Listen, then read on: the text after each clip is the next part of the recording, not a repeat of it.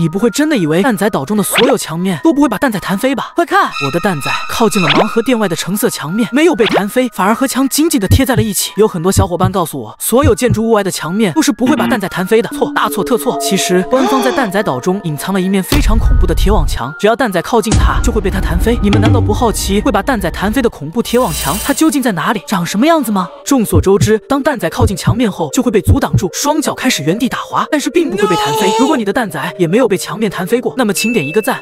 根据我和学姐的研究，我们发现蛋仔岛中的绝大多数墙面都是不会把蛋仔弹飞的。比如说商店外侧的玻璃墙面，当蛋仔靠近它以后，也只是双腿开始原地打滑，并没有被弹飞。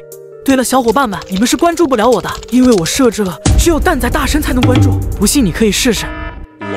那么蛋仔岛中隐藏起来的这个恐怖的铁网墙，它能把靠近它的蛋仔弹飞，它究竟在哪里？今天我和学姐在蛋仔岛中找到了这个可以弹飞蛋仔的恐怖铁网墙，它就在拳击擂台外。当我的蛋仔靠近铁网墙时，此时就直接被弹飞了，根本不能与它紧紧的贴在一起，每一次靠近都会被瞬间弹飞出去。所以说，在蛋仔岛中，其实并不是所有的墙面都不会把蛋仔弹飞，其实官方还隐藏起来了一面恐怖铁网墙，蛋仔只要靠近它以后，就会被它瞬间弹飞。小伙伴们，你们知道了吗？